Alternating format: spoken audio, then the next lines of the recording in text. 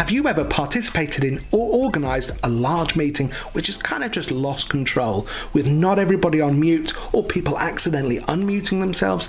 Background noise disrupting the flow of the meeting and meaning that the organiser has to keep saying, Can everybody put themselves on mute, please? Then I've got the feature for you.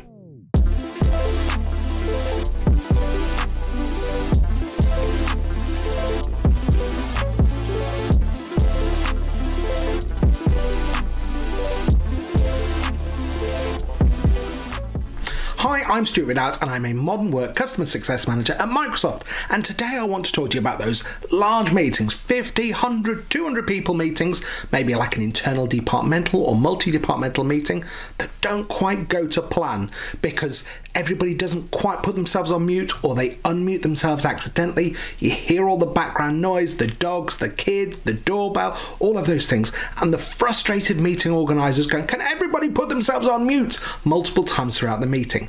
You can wipe all of this out by using meeting roles and hard mute to be able to control everybody in the meeting, add a little bit more framework and structure around that, and make it a much more pleasurable and productive experience for everyone. So let's have a look then. So, firstly, I'm starting out on this uh, Microsoft support page here, which just details the roles in a Teams meeting. So, you can see here there are three main roles there's the organizer, the presenter, and the attendee. So, the organizer is the person who set up the meeting, and you can see here that they've got full rights across the meeting, and the same with the presenter, but the organizer nominates who can be a presenter in that meeting. Then, lastly, we've got the attendee here. So, the attendee can only speak and share their own video, they can participate in the chat, and they can privately view the PowerPoint. So, if you share that PowerPoint file and people are arrowing back and forth if they've got the permission to do so.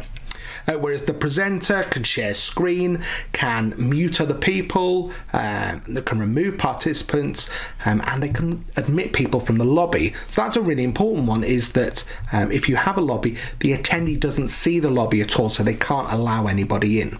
So we can use all of these and the hard mute feature to just add a little bit more control around our meeting. So I'm going to go to Teams here and I'm going to set up a meeting and I'm going to call this um, the hard mute test. There we go. And I'm going to add um, an account which is outside of my tenancy. Uh, so this is an external participant and I've set that meeting up. Now, the first thing I want to do is set up my meeting options so that it's right uh, for my meeting. So again, if I go back to Teams and just open up that, then I can go to meeting options. Um, and you can also see actually if you go into Outlook, then when you go to uh, Outlook for the meeting, there is that link there that says meeting options as well. But I like to do it through Teams.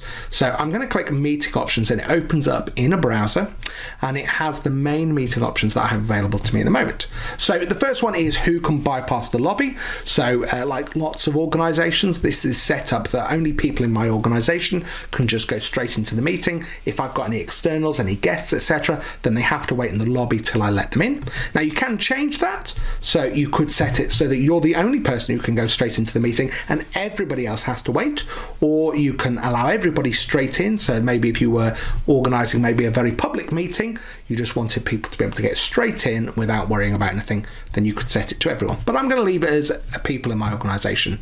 Then there's an option here, or a next couple of options are around calling. So do we let callers bypass the lobby or do they come straight in? And do we announce when they join and leave the meeting? But these last two here are the ones that are really important for us today. So, who can present and allow attendees to unmute? So, we can see here on who can present, everybody is set up to join with that presenter role.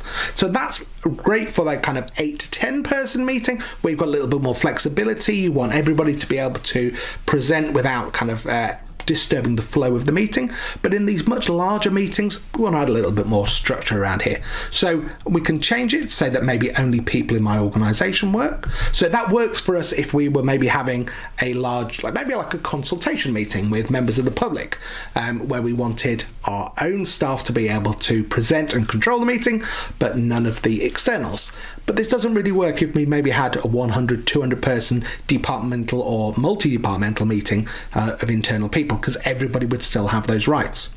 We can pick specific people and search for people who've had a meeting invite, or we can just set up that only the organizer is the person who can present. So I'm just going to leave it for that at the moment and I will show you how you can enable people to be presenters during the meeting.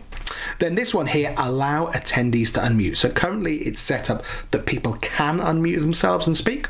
So I'm just going to click that button there and I'm going to say no. So attendees cannot unmute themselves and save the meeting. Perfect. So let's just minimize that and I'm going to start that meeting. So the first thing I'm going to do is I'm actually just going to turn my mic off so I don't get any feedback through this and I'm going to join the meeting. Okay, so I'm going to bring across here a browser uh, for the person who got invited to the meeting. So there they are. And we can see that they've got the hard mute test. So I'm going to join that meeting. So a reminder that I'm joining as an external participant. So I'm not going to mute myself. I'm going to attempt to join that meeting uh, with my microphone switched on uh, and I'm going to join that. Now, because I'm an external participant, I am going to go into the lobby. So it's telling me here that people know that I'm waiting. So if I switch back, here we go. Um, you can see that uh, my other person is waiting in the lobby, so I can admit them in. Now, if I switch back, you can see here that it says you're an attendee. You won't be able to unmute, share content, or facilitate. Okay, so it's given me a warning bar, and you can see here that actually, if I hover over the microphone button, it says that the mic is disabled for all attendees. So uh, I can't unmute myself, I can't disturb the meeting, and I can't accidentally embarrass myself, which is probably the most uh, important and worrying thing that could happen um, if you did that during the meeting.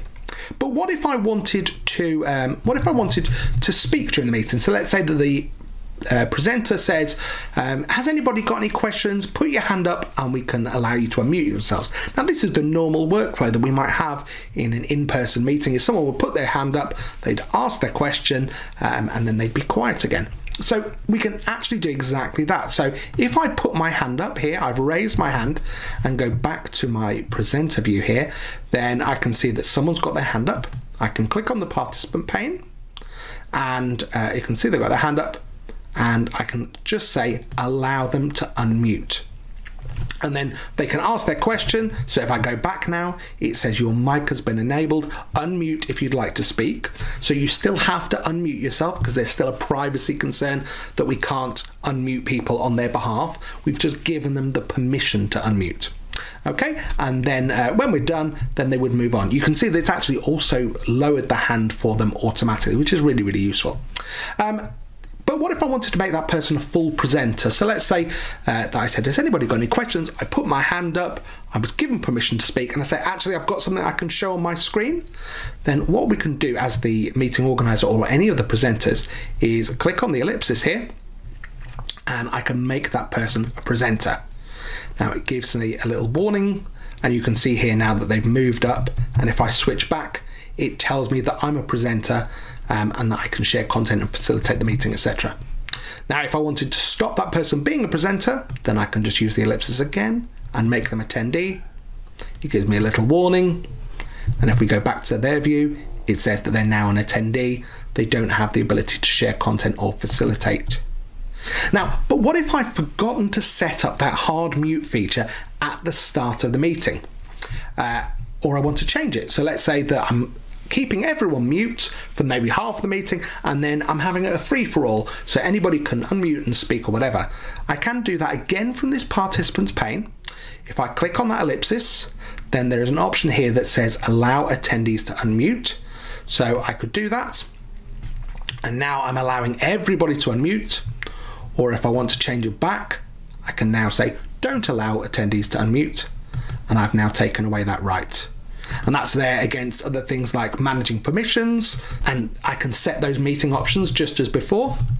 Um, or I can download that attendee list and again, when I'm done, then all I need to do as the meeting organizer or presenter, instead of just clicking leave, is do end meeting. And that stops the meeting for everybody. It doesn't keep anyone hanging around in the meeting, and it doesn't mean that the conversation then continue after you've left the meeting.